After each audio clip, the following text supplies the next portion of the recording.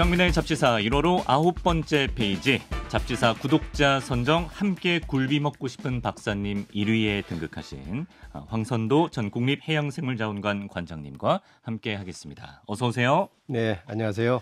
예, 반갑습니다. 잡다한 해양생물사전 아, 이제 이 코너를 통해서 우리 바다 생물에게 점점 친숙해지고 있다 이런 반응이 많이 오고 있는데요.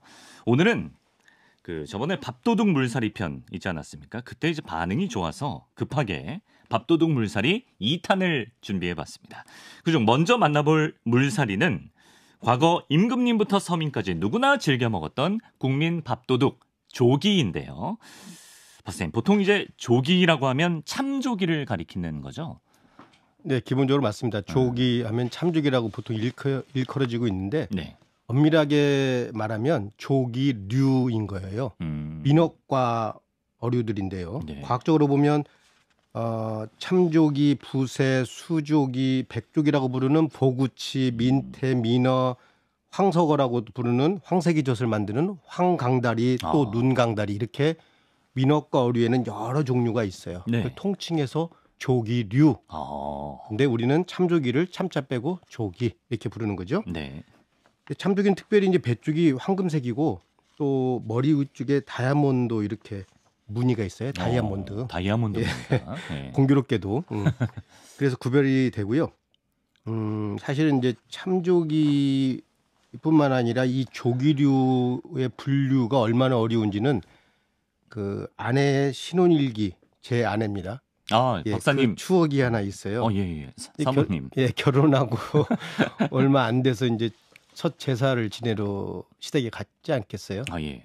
이게 이제 어머님이 시어머니죠. 우리 네. 아내한테는 저 가서 참조기 좀 시장 가서 사와라. 어, 며느리에게 네, 이렇게 명을 내렸죠. 네네네. 그러니까 혼자 아 예 걱정 마십시오. 뭐 이게 없어 이제 갔는데 막 돌아와서는 아 이거 어머니 이게 싸게 샀어요. 그러고 막 보여주는 거예요. 자랑스럽게. 예.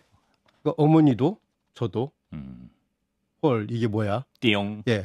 수- 수조기를 참조기로 사갖고 온 거예요. 아, 수조기를 참조기를 사오려 했는데 수조기를 사오셨구나. 명색의 물살이 박사 아닌데도 이게 구별하기 쉽지 않았다라는 아. 추억이 하나 있고요. 예. 또 역사적으로 보면 에, 자산어보에는 석수어라고 되어 있어요. 이것은 근본적으로 참조기가 아니라 조기류 아까 말했던 음. 민어거리 총칭입니다. 네. 머리에 돌이 있다 해서 석수어예요. 그 얘기는 아. 뒤에 한번 나올 것 같고요. 네네.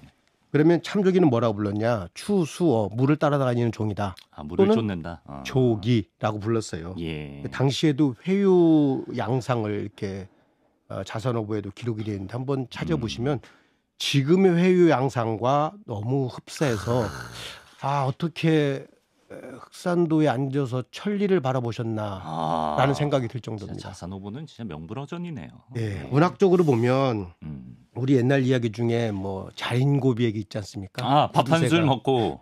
이렇게 대로 에, 이렇게 줄에 네. 에, 조기 하나를 걸어놓고 맞아, 맞아. 예. 바라만 보고 먹어라. 아, 어. 먹, 먹지는 말고 밥 한 술 먹고 바라만 봐라. 예. 이게 구두쇠 같은 얘기인데 음. 그게 엄밀하게 말하면 조기, 참조기로 만든 굴비 음, 이야기죠. 그러네요. 그래서 생각해보니까. 이 참조기 하나만 가지고도 과학적으로, 역사적으로, 문학적으로 음, 이야기할 수 있다라는 얘기입니다. 그렇군요. 근데 이제 조기의 원래 이름이 종어였다고 하던데 종어? 이게 한자로 보면 물고기의 으뜸 또는 물고기의 근본이라는 아. 뜻에서 종어라고 합니다. 그래요. 그래서 이제 이게 급하게 발음돼서 조기다고 했다는데 네. 한자로 조기는 사람의 길을 돕는 생선이다. 그래서 도울 기자에다가 아, 기운 기자를 씁니다. 길을 도와준다. 네. 약간 보양해준다. 네, 그런 뜻이라고 어, 하는데 예. 사실 종어라는 이름은 다른 이름에도 다른 물살이에도 붙여지는 경우가 왕왕 있어요. 네. 그러니까 물고기의 근본이 되는 거다라고 아, 할때 쓰입니다. 이렇게 생선 중에서도 근본, 예, 으뜸으로 여겨져서 제사상에 올라 절까지 받게 된 조기인데요. 근데 여기에는 후손들에게 사덕을 일깨워주려는 의도가 숨겨져 있다. 사덕, 이게 무슨 말인가요? 우리 이 물살이들은 예. 에, 과거 조상들을 대신해서 후손들에게 네 개의 덕목을 알려줬어요. 물살이들이 네. 어, 우리에게 어, 어떤 덕목이지? 예. 이 참조기는 이 네 가지 덕목을 갖고 있는데 네.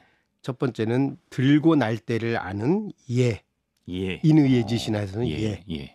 또 소금에 절여도 굽히지 않는 이 의, 아, 소금에 절여도 굽히지 않는. 어. 또 검소하고 청렴하다고 하는 염, 어. 부끄럽고 창피함을 아는 치, 이렇게 돼 있어요. 네. 이게 성리학을 중심으로 둔 시대에서 제상에 올라오는 생선 하나에도 이렇게 의미를 부여했다라고 아, 생각하면 되는데요. 네. 이뭐 이걸 고- 고리타분하게만 생각하지 마시고 네. 지금 시대에도 새겨 들어야 될 덕목이 있다 저는 생각이 듭니다. 네. 저는 개인적으로는 청렴하고 부끄러움을 아는 염치 그거를 제 바로미터로 삼고. 있습니다. 아, 저도 뭐 염치 없다는 소리는 못 들어본 것 예, 같습니다. 염치 있는 삶을 살자 최소한. 알겠습니다. 새해 덕담입니다. 자, 그리고 이제 저 저번 시간에 그 머리에 이석이 있는 물살이들 그 이석을 통해서 여러 정보를 얻을 수 있다 이런 말씀해 주셨는데 조기의 머리에도 이석이 있다면서요, 박사님? 그 어, 제가 자산어보 얘기도 왕왕 많이 하고요. 네. 이석 얘기를 계속 하고 있어요. 음. 어, 물론 이석이라고 하는 하나의 그 물질을 가지고 연구의 tool로 썼다. 그게 제 전공이다라고 네. 할수 있지만 사실 네. 이석을 분석해서 할 수 있는 생태적인 정보를 많이 얻을 수 있어요. 아, 근데 특별히 이 조기류는 네. 석수어 머리 에, 돌석자에다가 머리 숫자 물고기 어자를 쓰거든요. 아까 자산어보에도 예, 석수어라고, 석수어라고 돼 어, 있다는 예, 거 예. 보니까 예. 그 시기에 소남 선생께서도 이미 아. 물고기 의 소위 그 생선의 대가리에 네. 에, 이석이 있었다는 거를 깨우치셨던 거죠. 음. 예.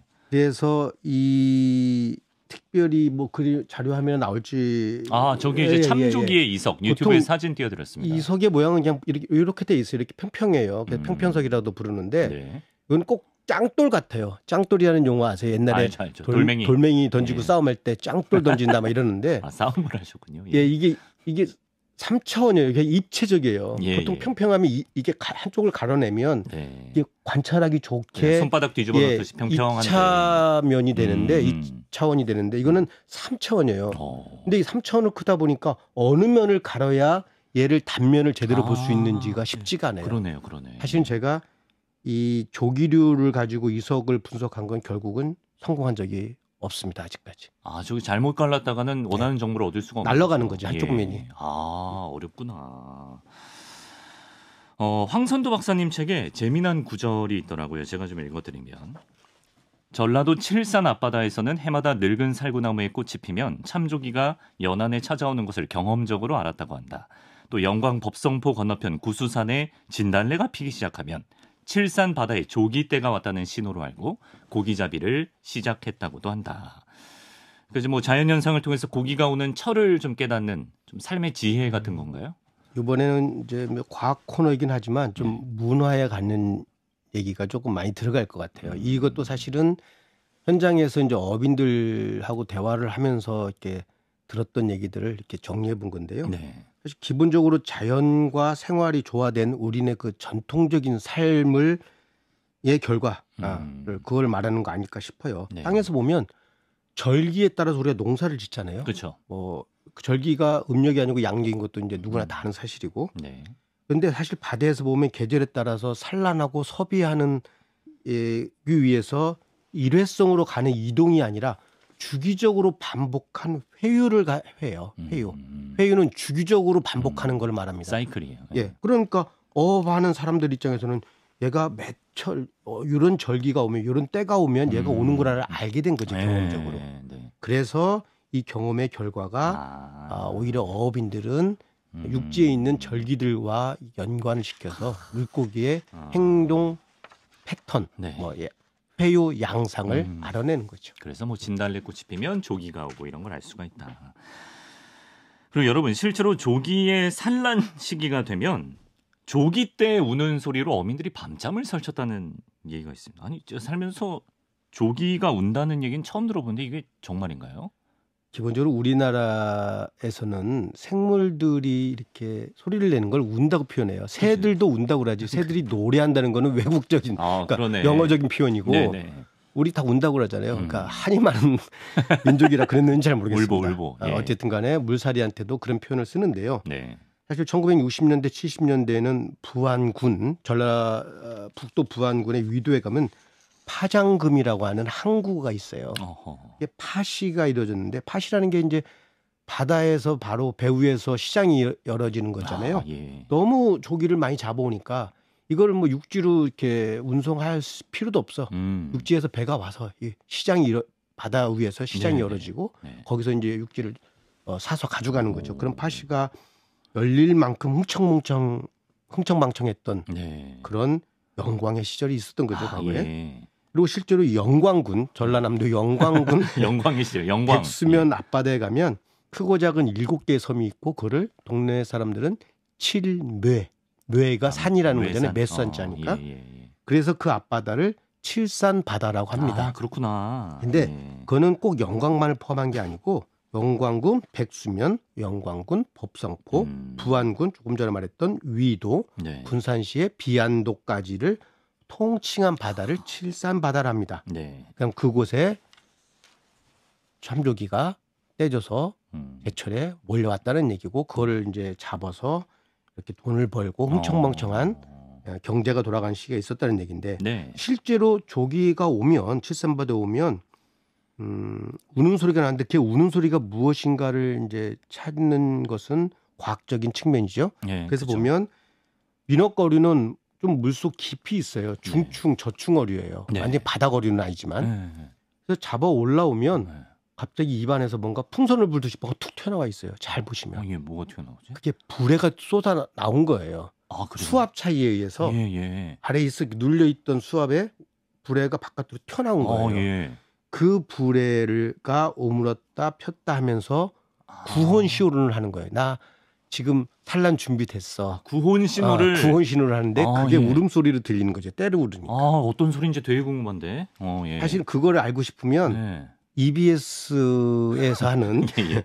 예. 황선두의 어구행이라고 하는 다큐를 제가 한 적이 예, 있는데 예. 그때 전통어만 찾아갔던 그런 다큐 프로였어요. 어. 그때 대나무 대롱을 네. 가지고 네. 현재도 그런 음, 민어를 잡는 네. 어업을 찾아가 봤는데 어. 물속에 이렇게 대보니까 꾸룩꾸룩꾸룩 꾸룩꾸룩꾸룩 아, 하는 소리가 들려요. 아, 지금도 신기하다. 대나무 대롱을 가지고 네. 민어가 오는지 민어가 어장에 가입했는지를 음. 현재 어민들도 씁니다. 아. 그 소리가 이제 모여들이니까 예. 울음소리가 들렸겠죠. 와. 여러분 신년회 때좀 참신한 개인기 지금 고민하시는 분 있으면은 그 영상 찾아보시고 민어 우는 소리 예, 이런 거 하면은 굉장히 반응 좋습니다. 자 오늘 밥도둑 편이니까 얼른 굴비 맛 좀 보겠습니다. 박사님 그 산란 직전에 잡힌 조기가 알도 꽉 차 있고 살도 실하다고 하네요. 네, 그 전에 음. 이제는 옛날 이야기가 돼버린 예, 영광의 전설 얘기를 하나 하나 하겠습니다. 어, 예, 오늘 예. 영광 얘기 계속 나오죠. 예. 영광하고 굴비는 굴비니까. 뗄래야 뗄 수 없어서 그쵸, 그런가 그쵸, 봐요. 그쵸. 예. 고려 인종 때 세도가 했던 이자겸이 난을 일으켰어요. 아 예. 그래서 정주로 이제 실패를 했으니까 정주로 교양을 보냈는데 그 음. 정주가 지금의 영광입니다. 아하. 지금 여- 정주시는 또 따로 있어요. 그거하고는 좀 다른 동네죠. 네. 영광인데 거기 귀양살이 하면서 조기의 맛을 보고 조기를 어 임금한테 진상은 아닐 거고 보내면서 음. 굴비라고 한자로 써서 보냈어요. 굴비. 그걸 음. 거꾸로 읽으면 비굴이에요. 비굴하다.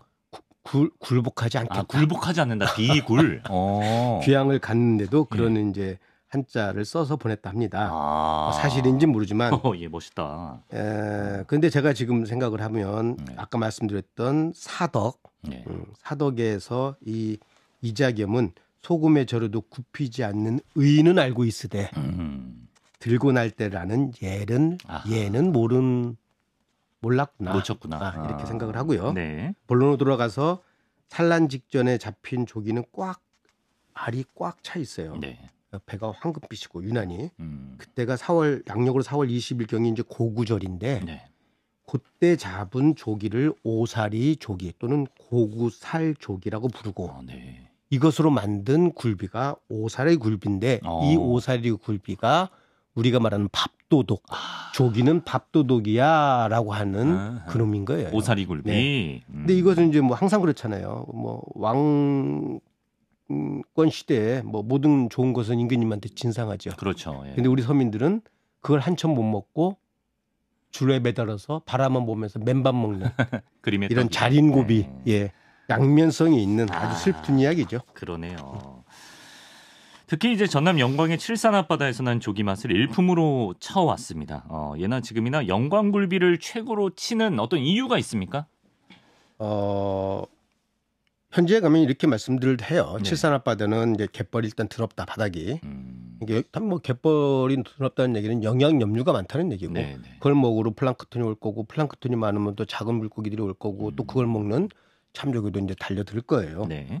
그리고 수심이 그렇게 깊지 않아서 어, 참조기가 산란하는 아주 좋은 조건을 갖고 있다 음. 이렇게 말을 하고요. 네. 그래서 마르지 않은 조기를 이제 조, 염장하면 그게 굴비가 되는 거 아니에요. 음, 네. 이 영광 앞에 칠산바다에서 어획을 해서 바로 영광군 법성포구라고 하는 데로 가지고 오니까 가깝고 음, 네. 이게 이제 조기의 집화장이 되는 거고 네. 그 지역에서 이제 또 굴비를 생산하기 위해서 또 뭐 꾸덕꾸덕 말리다 보니 음. 굴비 생산지가 되는 거잖아요. 음. 뭐 상품화되는 건 백만 가지 이유가 있어요. 네. 뭐든지 네. 영광 굴비가 있는 거 하면 포항에 지난번 말씀드렸던 과메기, 음. 흑산도에는 홍어, 홍어. 영덕에는 대게. 되게. 뭐 네. 그들이 다 이제 상품화 시키는 거죠. 아, 그렇죠. 근데 이렇게 영광 굴비가 과거의 영광을 이어올 수 있는 이유는 그 지역 주민들에게 전해져 내려오는 특유의 가공 비법 때문이다. 이런 말이 있던데요. 뭐 어떤 비법일까? 이제 법성 포구니까 바닷가잖아요. 네. 그럼 갯바람이 불어요. 이게 아침 저녁으로도 바람의 방향도 바뀌고 음. 때에 따라서도 이제 바람의 세기도 달라지는데 네. 일단 낮에는 해가 있으니까 습도가 좀 낮게 되겠죠. 네. 근데 밤에 되면 이제 뭐, 뭐 바닷바람이 불고 나면 축축해지잖아요. 네. 습도가 좀 많아지고 그러니까 이제 조기에서 굴비로 탈바꿈할 때 낮에는 건조하고 밤에는 수분이 많으니까 이게 해풍, 습도, 일조나 이런 게 적절하게 조화를 이뤄서 음. 어, 그것을 가지고 이제 간수 빠진 천일염에 염장해서 반년 이상 살짝 널어서 네. 어, 숙성을 시키니까 네. 당연히 맛있을 수밖에 없고 아, 이런 것은 시간과 이제 정성을 들이게 되잖아요. 그렇죠. 예. 근데 좋은 음식은 정말로 저는 한 가지로 표현을 할 수 있어요. 한마디로. 네. 좋은 음식은 시간과 정성이에요. 그 결과물이 아, 좋은 그렇습니까? 음식을 만들어요. 예. 그래서 슬로우 푸드라는 것들도 이제 그런 데서 음, 나오는 거고 네, 패스트 네. 푸드에 네. 대적해서 예. 사실 대부분의 한식은 네. 우리의 음식은 다 이랬어요. 어, 이렇게 쉽게 만들어지지 않았어요. 예. 그래서 맛있고 그래서 사실 비쌀 수밖에 없고 왜 노동력이 많이 들어가니까. 그렇죠. 예. 네. 그리고 어머니들 손맛 자식 하나 먹이려고 얼마나 정성 들여서 새벽부터 그 만들었겠어요. 준비하는 그 네. 정성, 시간. 네. 아, 그게 이제 한식의 비법이다. 그렇습니다. 하지만 말이죠. 언제부터인가 칠산 앞바다의 참조기 어획량이 급격히 줄어들면서 한편에서는 이제 소위 짝퉁 영광굴비가 쏟아져 나오고 있다 이런 얘기가 있던데요. 뭐 명품만 짝퉁이 있는 줄 알았더니 이렇게 물살이한테도 짝퉁 물살이. 짝퉁이라는 어. 어, 이름을 붙여버렸대요. 예, 결론은 뭐 영광굴비가 아닌데 영광굴비처럼 해서 판다는 소위 천박한 자본주의의 결과물 아니겠습니까? 어디, 뭐 뉴스에 어디, 많이 나온 예, 얘기고 예. 사실 이건 근본적으로는 수산자원이 고갈돼서 그래요. 음. 그 참조기도 피해갈 수 없어요 거기서. 네, 네. 그리고 어획량 급감하고 그럼 억가는 올라가고 네. 이건 팔아야 되는 상인들 입장에서는 좀 뭐 허른 재료들 음. 뭐 중국산이든 예를 들면 음. 또뭐 원양산이든 꼭 영광이 아닌데 음. 그 잡은 걸 그냥 그렇게 해서 만들어도 되는데 네. 그걸 영광 굴비라고 해서 비싸게 팔고 싶었던 거죠. 아. 그러다 보니 짝퉁이라는 이제 이름을 얻게 되고. 그 적발되고 뭐 이런 뉴스들은 많이 들으셨을 거예요. 네. 이제는 어업인들도 자정 자정 노력을 합니다. 아 그래요? 그래서 구별할 수 있는 자구책도 많은데 예를 들면 뭐 네, 네. 지금 뭐 비닐끈으로 이렇게 엮더라고요. 근데 네. 그 사이에 지푸라기를 하나 넣어서 아. 어, 같이 꼬운다. 네. 뭐 이런 표현들도 있었고 뭐 여러 가지 아, 자구책을 그런 식으로 합니다. 진짜 영광굴비를 표식. 그렇죠. 어, 그래서 예. 영광군에서 정말 굴비의 영광을 네. 재현하길 저는 바라죠. 아. 근데 여기서 이제 재밌는 이제 또 하나 추억. 어, 오늘은 이제 약간 문화적인 얘기를 좀 하- 하고 싶은데요. 예, 예. 어떤 추억이죠? 문화가 의뢰 그러하듯이 음. 음. 식도 시대에 맞게 진화를 합니다. 음. 그러니까 저는 굴비에 대한 정말 맛있었던 음식으로 했을 기억이 아, 꽤 오래된 얘기인데 군산에 한 아, 횟집도 아니고 일식집도 아니고 한 묘한 이제 한식집에 갔는데 네. 뭐 어쩌다 이제 여름에 이렇게 술을 좀 먹게 되죠. 네, 네. 다 끝에 얼음이 동동 떠 있는 녹찬물에 찬밥을 말아서 갖고 음. 와요. 네. 그 찬밥 한 술에 네. 어, 위에 이렇게 쭉쭉 찢은 이렇게 굴비 한 쪼가리를 올려서 먹었는데 아. 그술 뒤끝이라 그런지 여름이라 그랬는지 그 시원한 맛이 어. 정말 쿨한 맛이었어요. 아, 쿨한 맛. 쿨한 맛. 예. 그래서 이런 어, 문화가 저는 살아 있었으면 살아남았으면 음. 좋겠다라고 생각하는데 네. 요즘 우리가 많이 접하는 이건 원광굴비라고 말하지 않습니다. 그냥 음. 그들은 그냥 다른 표현을 하는데 이걸 가이석태의 음. 예, 굴비 비슷한 그 물살이들을 네, 이제 네, 식품으로 만들었는데 네.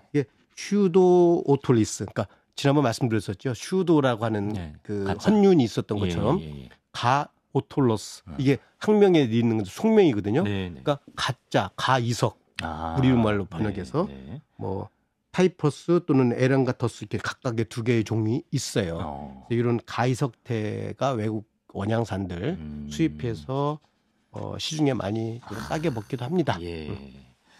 아, 뭐 녹차 그 보리굴비 정식 갑자기 엄청 먹고 싶네. 예. 자, 잡다한 해양생물사전 밥도둑 물살이 2탄. 이어서 만나볼 밥도둑은 천지신명에게 바쳐지던 귀한 몸이죠. 명태입니다. 명태. 선생님, 명태는 뭐 밥상 위에서뿐만 아니라 한국인에게 워낙에 친숙한 물살이잖아요.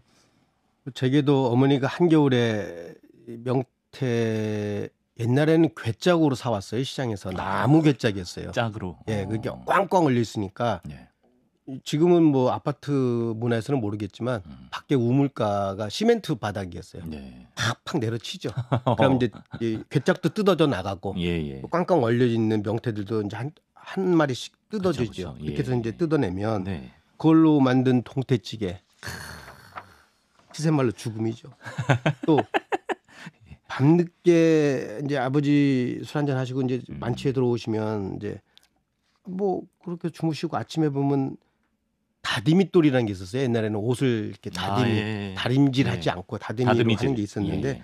그 이제 방망이로 막 뭘 하나 이렇게 두드려 패고 있어요. 그 어제 술 먹고 들어온 그 남편에 대한 아, 그치, 그치. 에, 어머니가. 에, 에, 어. 이, 이, 이, 뭐 하여튼 원망인지 는 모르지만 네, 네, 네. 그래서 그걸로 해서 계란 살짝 풀어서 준 북엇국 그게 또 시간과 예. 정성이죠. 또 예. 먹었고 저희 집이 종갓집이라서 사대 봉사를 했어요. 그러니까 어. 조상 사대를 모셨으니까 네. 뭐 1년에 한 13번 정도 제사를 치렀던 기억이 나는데 이때마다 꼭 안 빠지는 명태전.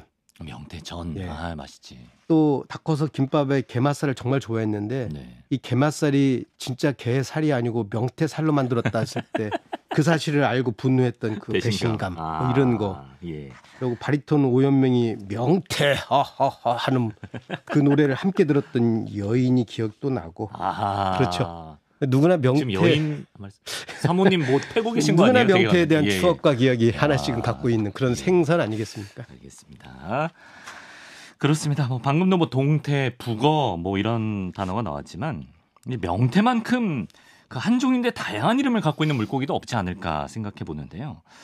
이게 명칭에 따라 어떤 차이가 있는지 박사님께서 소개해 주시면 좋을 것 같아요. 그러니까 이제 명태가 왜 명태인가라는 것은 사실은 저는 그 당시에 그게 궁금하지 않았었는데 예, 예. 그 가수 강산의 씨가 이제 읊조리면서 불렀던 명태가 있어요. 그렇죠, 그렇죠. 이렇게 시작되죠. 조선시대 함경도 명천 지방에 사는 태씨 성의 어부가 처음 잡아 해설이라고 시작되는 맞아요. 실제 노래 를 이렇게 예. 하시죠. 예. 이게 이제 이유원의 임하필기에 나온 얘기를 이제 언급한 겁니다. 아. 자세한 거는 제 책을 읽어보시면 나올 아, 텐데 예, 예. 얼리지 않은 명태를 동태라 불러서 동태찌개로 팔고 있고요. 먹을 수 있잖아요. 그렇죠? 얼린 명태를. 예, 얼린 명태를. 어, 그죠. 그리고 예. 얼리지 않은 거는 이제 생태죠. 우리가 말하는 그렇죠, 그렇죠. 명태. 예. 근데 생태찌개는 요즘 어디 써 있지만 메뉴로 음, 사실은 지금 거의 생태는 쉽지 않죠. 그래요. 예, 어. 뭐 어영량이 많이 죽어서.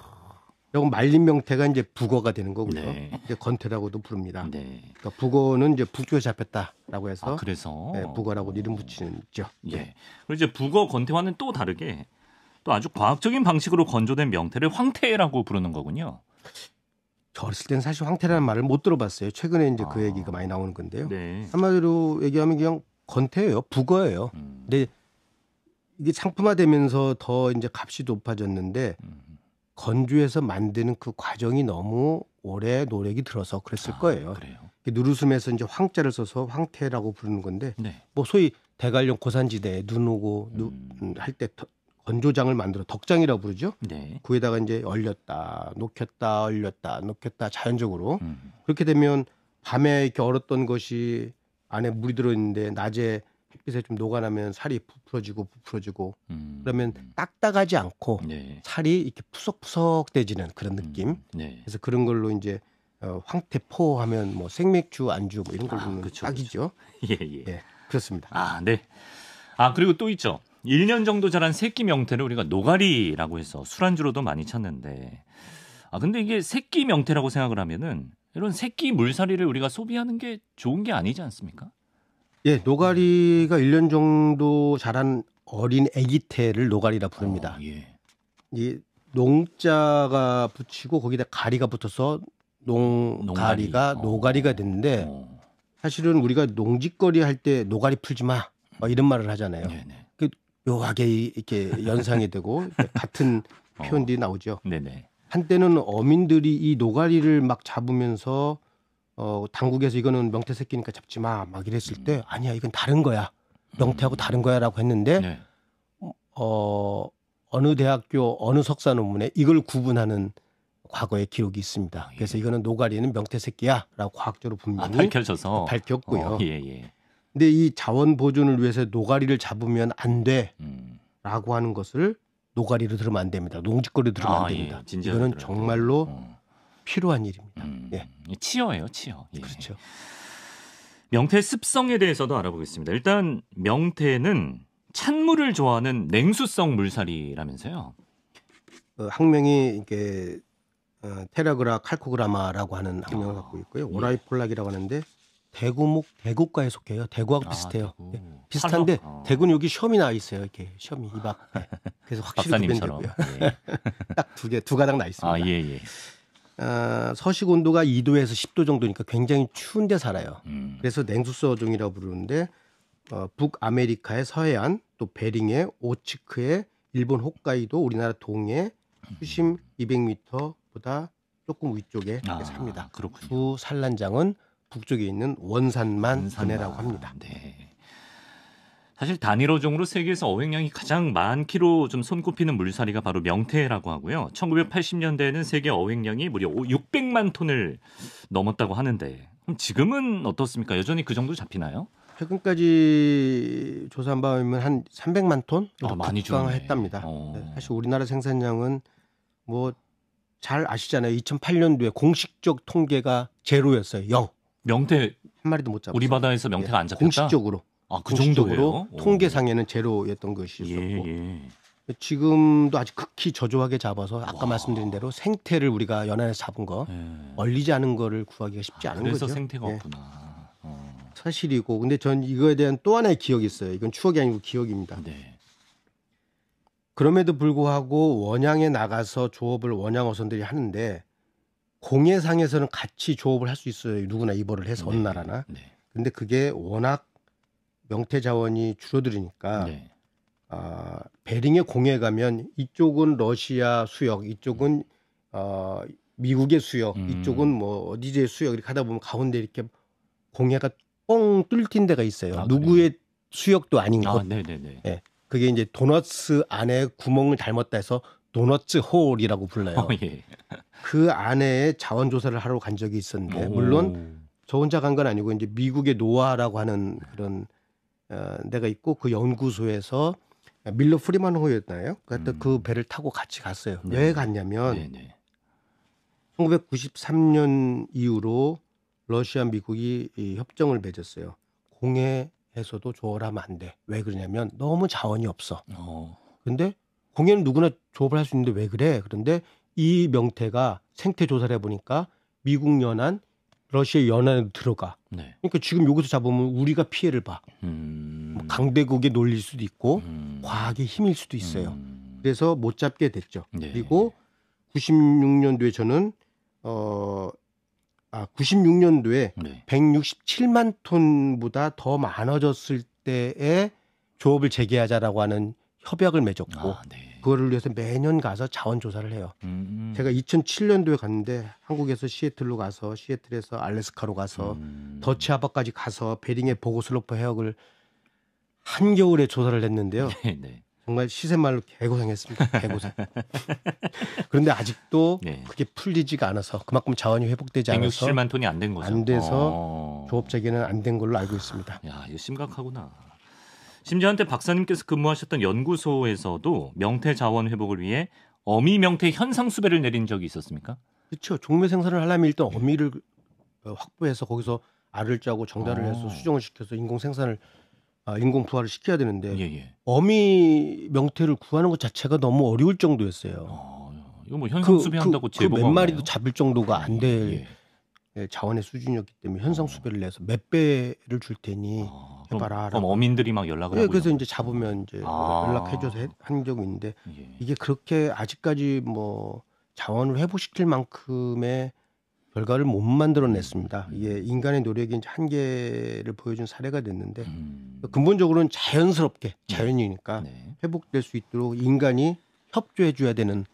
상황이 아닐까 싶습니다. 예, 아, 요 이 지경까지 온 줄은 좀 몰랐네요. 우리나라 연안에서 명태가 제로에 가까울 정도로 줄어드는 어떤 명확한 요인 이 좀 궁금한데 이게 아직 결론 나지 않은 문제라고 하네요. 이게 무슨 얘기인가요?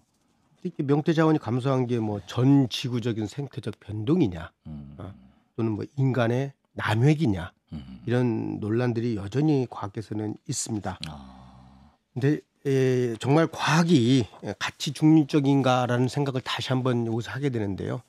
정치적인 이유, 또 국가 간의 이유, 또뭐 어, 파워 게임, 음, 음, 뭐 이런 것들이 복합적으로 작용을 해서 아직도 그 답이 무엇인가는 저는 음. 확신하지 못합니다. 네, 요즘 여기까지 명태 만나봤고요. 이제 끝으로 만나볼 밥도둑 물살이는 호불호가 강하지만 마니아들 사이에서는 극호를 부르는 물살이죠. 바로 홍어입니다. 그 황석영 소설가가 홍어 맛을 이렇게 표현했다고 해요.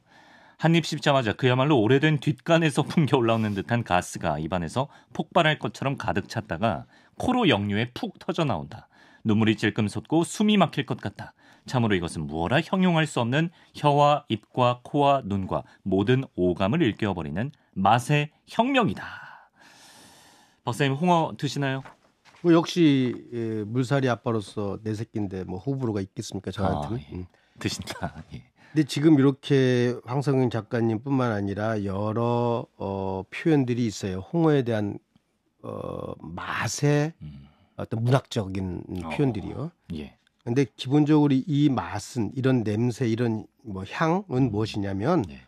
홍어가 죽으면 이제 몸에 있는 요소가 분해를 해요. 암모니아하고 트리메탈아민으로 분해를 하는데 이 네. 자극적인 냄새를 이렇게 내게 되는 거죠. 음, 이거는 이제 발효이지 부패는 아니에요. 썩은 게 아니라. 예, 썩은 건 어, 아니에요. 예. 뭐 김치도, 된장도, 치즈도, 그쵸, 요구르트도, 그쵸. 심지어 술까지도 다? 발효식품이잖아요. 예. 그래서 이거는 그렇게 역하다고 표현할 수는 없다. 네. 뭐, 낯선 거죠. 안 맡아봤으니, 아, 안 먹어봤으니. 그렇죠, 그렇죠. 그런 겁니다.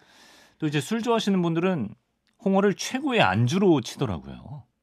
또 홍탁 삼합, 홍탁. 홍어와 아, 탁주가 뭐 하여튼 삼합 세 개의 예. 합 아, 서로 이렇게 어울림이 있다는. 건데 네. 일단 푹 익은 김치를 바닥에 깔고 아, 그 위에 참홍어를 한 첨을 넣는데 고춧가루가 살짝 쳐 있는 소금을 찍어서 넣고 아, 그 위에 비계살이 붙어 있는 돼지고기 돼지고기. 수육을 어, 그것도 새우젓에 살짝 찍어서 올려놓은 다음에 네. 둘둘 말아서 탁배기 한 잔 옆에 놓고 탁 집어넣고 쭉 한 잔. 기가 막히네. 묘사가 기가 막히네. 예. 이게 차고 뜨거운 두 성질을 중화시키는 거고 음. 이게 맛의 궁합이라는 음. 건데요. 네. 남도 사람들은 이것을 고향의 맛이라고 하고 어느 어 잔치집에 이게 빠지면 뭐 이 잔치 잘 못했네 어. 네, 이렇게 말할 정도라고 합니다. 예. 저 에디터 한 명이 얼마 전에 그 전라도에 문상 갔다가 그 장례식장에서 홍어를 잔뜩 준비해 놔가지고 그걸 취해서 왔다고 그 향에 그러네요. 네, 그런 네. 후문이 있습니다. 아 그리고 참홍어에 간을 넣고 끓인 참홍어 앳국이라는 음식이 있는데 이 음식이 일종의 만병통치약으로 여겨진다고 하네요. 음, 또 의학까지 제가 또 이게 과학적으로 해석을 해드려야 되겠네요. 근데 어. 그 전에 전 또 오늘 문화 얘기를 또 해야 되니까 예 예. 애간장이라는 말이 있는데 저는 지금도 이 애가 음, 간장을 말하는지 간을 말하는지 잘 모르겠어요. 그래서 애간장을 예. 간장 간장 간장을 강조한다라는 말도 있고 어. 또 애타다 창자가. 끊을 음. 끊어질수록 초도합니다. 애타다라고 음. 하면 이건 또 창자 같기도 하고 아, 그러네. 궁금하네. 답을 좀 아시는 분이 연락 좀 주셨으면 좋겠고요. 예 예. 다만 음. 참홍어에서의 애는 분명히 간이 맞습니다. 간. 그리고 어, 보리싹이 필 때 애탕을 끓이는데 음. 이건 저는 장모 제 장모님한테 네네. 처음으로 이제 그 대접을 한번 받아봤는데 뭐 예. 마침 또 우리 장모님이 이제 전라남도 쪽 예. 남녘 분이시라서 예. 진짜 사위한테 그 맛 한번 음, 보여준 적이 있습니다. 네. 어, 정말 뭐 뭐지? 애탕, 아이탐. 애탕. 아이탐. 입니다. 애탐. 예, 이거 아, 예. 근데 여기서 어, 아까 만병통치약 얘기했는데 위험 치료도 되고 아. 뭐 대장도 살균한다는 말이 있는데 예. 제가 늘 말씀드리잖아요. 약은 약사에게 진료는 뭐 그렇죠. 예. 의사에게 맞아야 되는 건데 음. 당시에는 약이 부족했잖아요. 예. 그러니까 어, 성분을 분석한 것도 아니고 음. 여러 가지를 먹어봤더니 그게 마침 치료가 되더라라고. 하는 경험의 축척이 예, 만들어낸 에, 것은 분명한 것 같습니다. 박사님 그럼 우리가 즐겨 먹는 홍어가 그 참홍어인가요? 가오리처럼 생긴 그 홍어. 예, 제가 조금 전에 계속 참홍어라는 용어를 반복해서 썼을 거예요. 네, 네. 이게 굉장히 분류책에 있어서 혼동이 혼돈이 됐었던 일이에요. 전에 이게 살홍어로 돼 있었어요. 과거 음. 어, 감 어도보 그러니까 과거 도감에는. 네. 근데 어느 순간에 눈가오리로 또 분류됐다가 음. 지금은 참홍어로 돼 있습니다. 음. 어, 홍어류의 분류를 전공했던 한 학자의 노력에 의해서 이제 어, 결론이 났죠. 그래서 예. 참홍어는 학수, 학술 명 그리고 학명으로 라자 풀코라라고 음. 되어 있고요. 음. 우리가 말하는 게 홍어 홍어라고 하는 거는 오카메제이 케노제이라고 하는 학명을 갖고 있어요. 다른 종입니다. 네. 그리고 가오리는 또 다른 종이에요. 음. 그래서 우리가 흑산동 홍어라고 부르고 주둥이가 뾰족한 거 그것을 참홍어라고 네, 부르는 게 네. 맞고 어. 앞에가 좀 뭉툭한 게 있어요. 좀 조금 크기도 좀 작고 이건 이제 간잼이라고 보통 어업인들은 불러요. 네. 간잼이 그걸 이제 어. 홍어라고 불러야 되고요. 아, 예. 가오리는 기본적으로 꼬리가 회초리처럼 쫙 길어요. 음, 채찍처럼. 채찍처럼. 음, 네. 그래서 이거 노란 가오리 같은 걸 보면 배가 노란해서 노란 가오리라는 종이 네, 있는데 네. 이것은 또 완전히 홍어류하고는 종류가 다르죠. 다르다. 예. 근데 이제 홍어에 대한 또 추억도 또 하나 있는데요. 예. 제가 어, 어느 날 연구소에서 근무를 하는데 한국은행에서 연락이 왔어요. 한국은행에서 예. 어, 예. 어, 갑자기 한국은행에서 왜 공식적으로 저한테 연락을 하나 했더니 음, 어, 그 당시에 이제 그 어획량들을 늘 통계적으로 해서 우리가 보고를 하는데 그게 한국은행까지 통, 어, 통계 자료가 가나 봐요. 어. 그러면서 이제 홍어냐 참홍어냐 이걸 물어보길래 우리는 과학자니까 네. 아, 우리는 참홍어가 이렇습니다라고 쭉 얘기를 했죠. 예. 근데 1년 뒤에 어느 날 보니까 참홍어 어획량이 통계상 엄청 높아진 거예요. 어, 예, 예. 홍어는 뚝 떨어지고 네. 과거에는 홍어로 돼 있던 어획량이 네. 뚝 떨어지고 참홍어는 홍어량이 어, 높아진 거죠. 예, 예. 결국은 같은 얘기였는데 아. 아, 근데 그걸 왜 한국은행에서 한국은행은 우리나라의 모든 생산 자료들을 같은 걸다 아, 통계를 갖고 있어요. 한국은행이 갖고 예, 있어요. 그래서 그걸 어. 가지고 어, 뭐 내년에 예. 무슨 뭐 물가 뭐 이런 것들도 다 아, 계산하고 하는 것 그렇구나. 같습니다. 그리고 정말 이 낭만적인 또 하나의 추억은 예. 군산에 가면 감나무집이라고 하는 슈퍼마켓이 하나 있었어요. 아, 예. 거기 가면 예. 얼음 맥주라고 들어보셨습니까? 시청자 여러분 얼음 맥주 아세요? 얼음 맥주. 예. 지금 우리가 맥주 하나 먹으려면 냉장고에 넣어서 얼음 갖고 와서 시원한 맥주를 먹잖아요. 음. 근데 그 지역에는 여름에 보면 언 때나 그래요. 이렇게 바켓스라고 부르는 플라스틱 버켓에다가 네, 네. 얼음을 쟁여놓고 거기다가 어, 맥주 몇 병을 이렇게 통으로 갖고 와요. 예, 예. 굉장히 차고와요.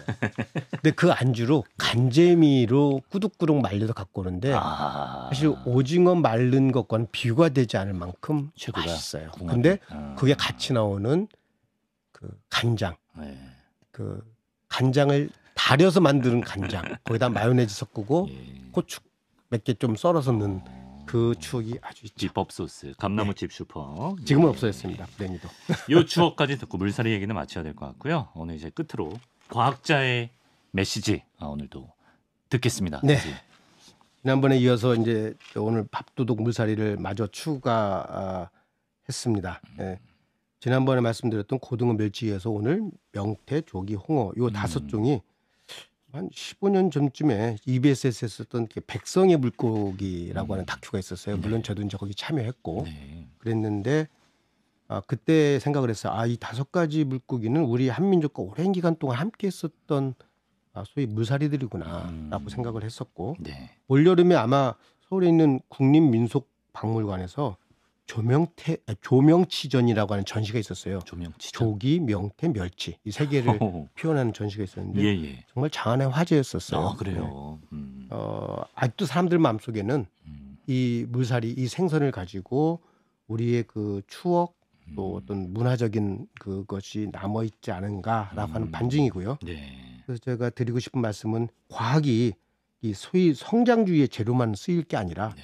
일상의 삶의 기억으로 남아 있는 인문학의 근거로도 좀 이렇게 쓰여 왔기 때문에 음. 에, 대- 제공되길 바랍니다. 음. 사실 제가 오늘 책을 하나 갖고 온 것 중에 바다의 음식의 인문학이라는 책을 제가 최근에 읽고 있어요. 네. 여기서도 과거의 현수들이 어떻게 이 무사리들에 음. 대한 얘기를 했는 거며 네, 네. 과학적으로 어떻게 또 해석을 하고 이것이 과거에 어떻게 음식으로 만들어졌는가 아, 인문학적 관점에서도 쓰여 있더라고요. 예. 그래서 인문학이 결국은 견인을 하고 네. 과학 이 문제를 해결하면 학문 간에도 공생이 이루어지지 않는가. 음. 인류의 문명을 발전시킨 것은 과학인데 음. 곧 과학이 인간의 또한 문화이기 때문에 이런 말씀을 드립니다. 예. 아, 잡다한 해용상문 사전. 또 과학과 선 박사님의 추억이 공생하는 그런 코너입니다. 황선도 전 국립해양생물자원관 관장님과 오늘 밥도둑 물살이 조기 명태 홍어를 만나봤습니다. 박사님 오늘 말씀 고맙습니다. 고맙습니다.